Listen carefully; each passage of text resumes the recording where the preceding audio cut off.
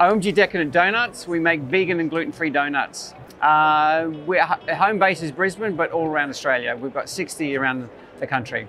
Um, I suppose from my perspective, we treat it like a business development company where we actually teach people how to run a successful small business. And it's just so much fun, you know, engaging, selling donuts. Uh, we are after people who are looking to make a change in their life. They, you know, they've got the personality to connect with customers. They've got the ability to want to work hard and enjoy what they do. You know, just everyday people, really. Not too hard.